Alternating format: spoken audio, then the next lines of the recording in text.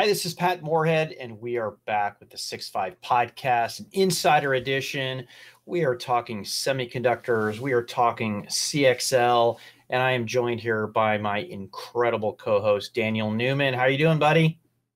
Hey, man. Good to be back. Love these insider editions. Always love talking chips. Pat, didn't we say at one time that while all the other pundits were saying software will eat the world, what did we say? We pretty much said uh, semiconductors eat the world. What are you going to do? Run software on air, right? Absolutely. It's kind of our uh, it was kind of our uh, snark snarky approach at it, but we proved the naysayers wrong, and every analyst loves to do a good victory lap when they get it right like this. And we've gotten our fair share of these right about semiconductors. So I'm pretty happy about that. But hey, enough about us. Let's introduce our guest, Ryan Baxter from Micron. Ryan, how you doing? Great to see you. Hey, great to see you guys again. Uh, doing doing really well. It's uh, it's a beautiful day.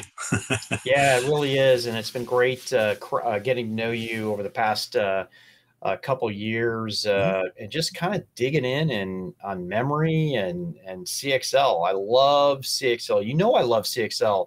Oh, I know you do. hey, hey, Pat. yes. Do you love CXL? I love CXL. Yes. You know, you know what? If you say it one more time, I'm not going to believe you. I will yeah. not believe you. As I always like to say to my kids, who are you trying to convince? Me or yourself? Uh, no, listen. You know that Pat and I we love talking semis and we love talking technologies yeah. that you know that can make applications make you know whether it's more power or more efficient we love it let's start there let's start first of all you know we did a we, we we've had a conversation recently about hbm mm-hmm. now we're talking about cxl and the industry loves acronyms but we also have to assume that because we have a pretty big audience of ceos all the way to the most technical people in any organization yeah, we right. like to make sure that the the the vernacular is clear. So give us the quick what is CXL and give us a, then a bit of an update on the status. Of course, uh, CXL stands for Compute Express Link.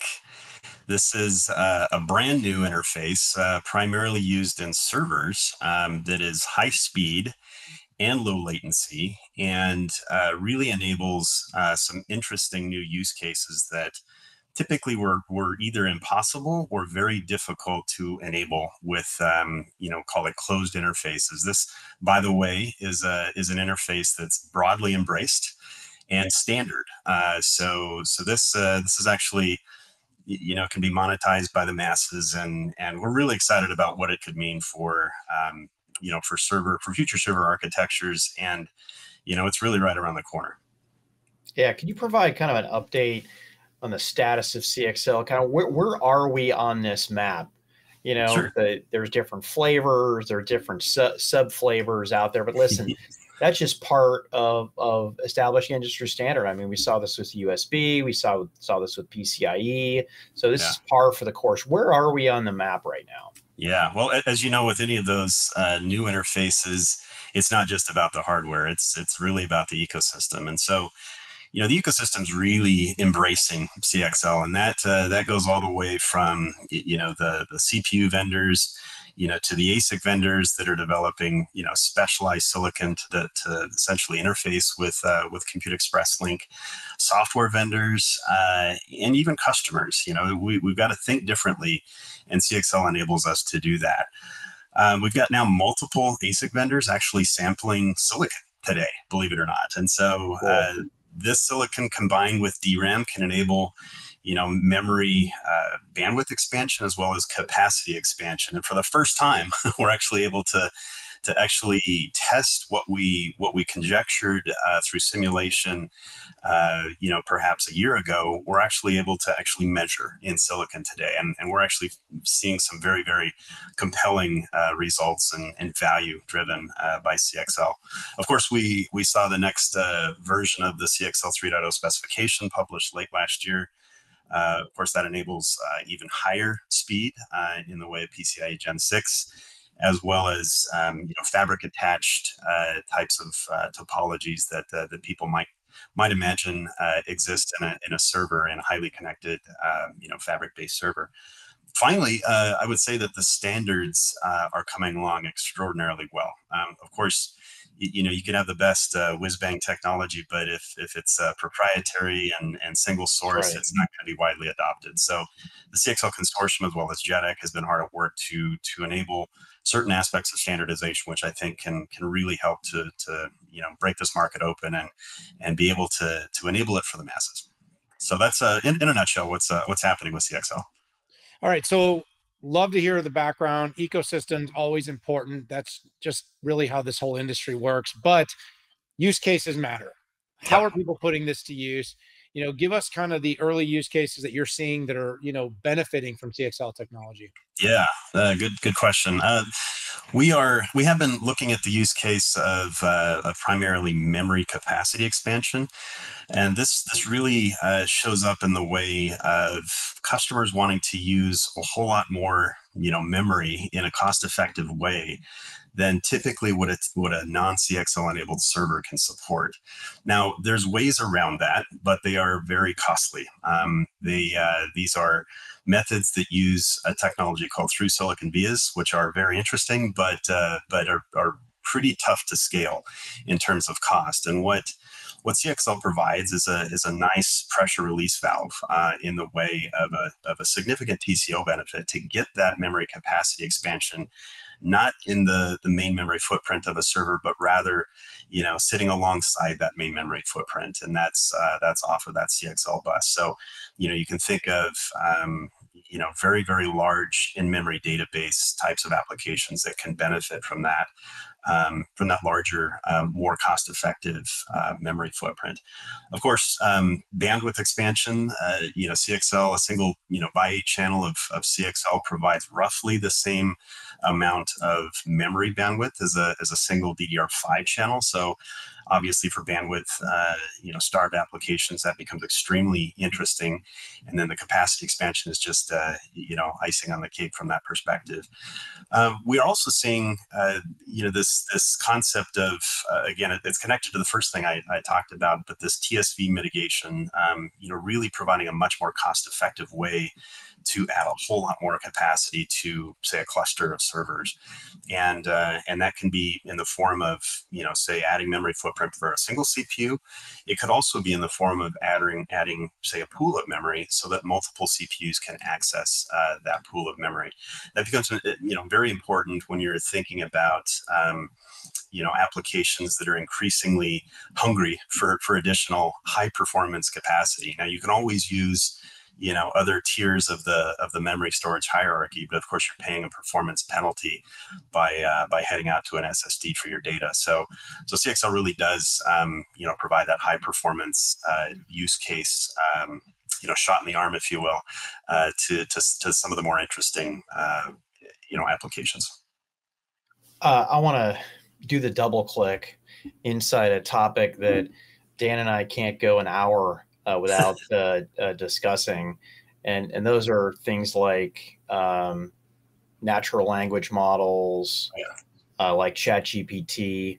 Um, I mean, it is it is amazing uh, all all of the talk, and this th- this one's real, right? Yeah. This this one's real, and believe that uh, it's going to uh, last a long time to provide incredible amount of benefit to consumers and businesses. But uh, hardware players need to step up and and support it in more efficient ways.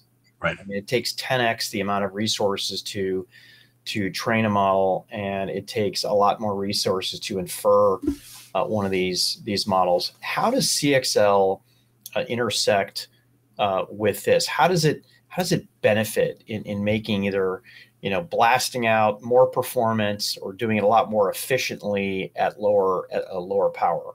Right. Yeah, it's a it's a great question. It's uh, kind of top of mind for a lot of folks these days. Um, yeah, I think uh, ultimately what CXL enables in this space is is optionality. You know, you don't you don't have to bring a sledgehammer to the to the job anymore. You can pick your tool um, to to bring that.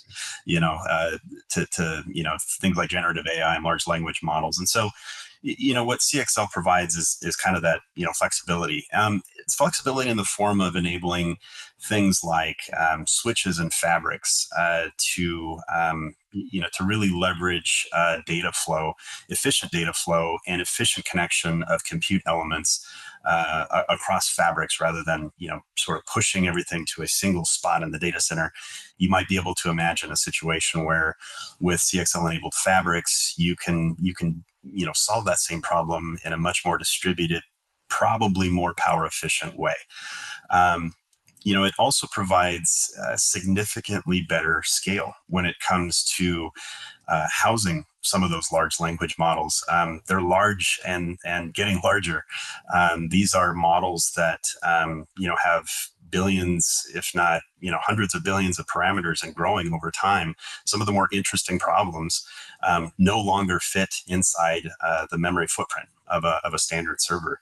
So being able to uh, to leverage CXL for that additional capacity expansion that you need for to house that that model as I said, a very high performance, um, low latency media is uh, is going to be critical, uh, I think, and and really um, able to, to to sort of break open the uh, you know the, the, democratization of AI and and um, and really you know allow system de- designers, architectures um, quite a bit more flexibility to think about how how else to solve this problem um, other than the traditional uh, traditional ways we've been able to do it th- thus far.